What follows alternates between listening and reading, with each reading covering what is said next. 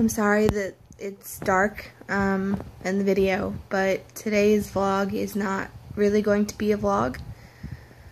Um, I found out this morning that my stepbrother, who I was um, pretty close to, um,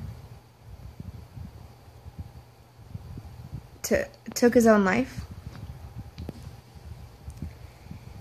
And um, it's been a very long um, day today. Uh, I've been struggling with what's going on pretty much for most of the day. But I'm still at pretty much a complete loss for words. I don't know if I'll get back into my regular swing of things tomorrow. It just depends on how I feel whenever I get up.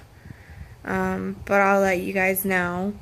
Of course, I, I won't put nothing up. If I don't vlog, I'll, I will at least do something like this so that you guys kind of know what's going on. Um, I'm going to go.